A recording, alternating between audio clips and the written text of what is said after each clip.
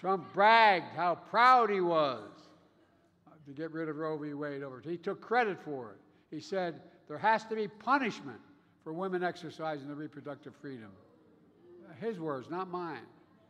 He described the Dobbs decision as a miracle. Maybe it's coming from that Bible he's trying to sell. Whoa. I almost wanted to buy one just to see what the hell's in it. Folks,